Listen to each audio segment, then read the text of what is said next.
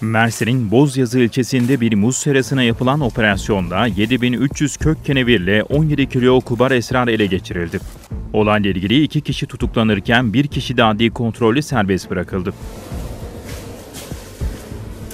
Uyuşturucu madde temin ve ticaretini yapan şahıslara yönelik yaptığı çalışmalarda Bozyazı ilçesinde bir muz serasında kenevir yetiştirildiğini tespit eden ekipler seraya operasyon gerçekleştirdi.